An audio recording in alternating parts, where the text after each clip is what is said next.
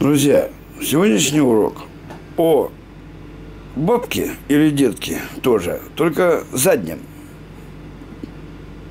Это почему-то называется задняя бабка или детка, как хотите, так и называйте. Вот он состоит из корпуса, стопора вот этого, который стопорит вот эту пиноль, в которую вставляются э, вот в эту дырочку или отверстие. Ну, как хотите, так и считайте. Оно движется. Вот я вам покажу сейчас. Вот видите, мне неудобно. Ну, вот за эту рукояточку крутим, да, и вон та ерундушечка, пиноль, а может быть консоль, ну ладно, как хотите, так и называть, она движется вперед. Это бабочка задняя для закрепления длинных деталей вот этими вот центрами, видите, два центра.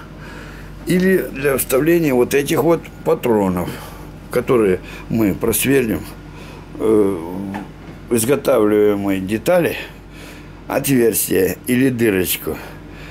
Каждый сверлит то, что хочет. Вот. А вот этот стопор, вот стопор, для крепления бабки на месте. Вот он, мы нажимаем вот так и закрепляем. Понимаете, тогда он не сдвинется. Вот. Задняя бабка или детка нужная вещь на этом станке. Итак, мы потом научимся. Вот этот два винточка с той стороны тоже есть. Он двигает, смещает туда-сюда бабочку или туда, или сюда.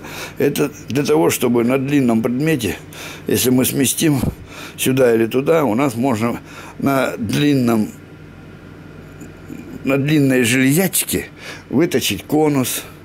Потом когда-нибудь я вам покажу.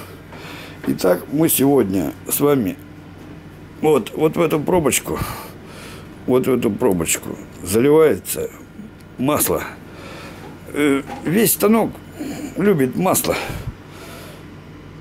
Эй, какой он вредный. Не может, блин, без масла. Вот это все надо смазывать, туда заливать. Вы запомнили? Масло любит. Так что не жалейте масла. Давайте ему масло. Не икры же просит. И не водки. Короче, масло не жалко. Государство даст. Всего хорошего. Урок заканчиваем про заднюю бабку или, возможно, детку. Как хотите, так и называйте.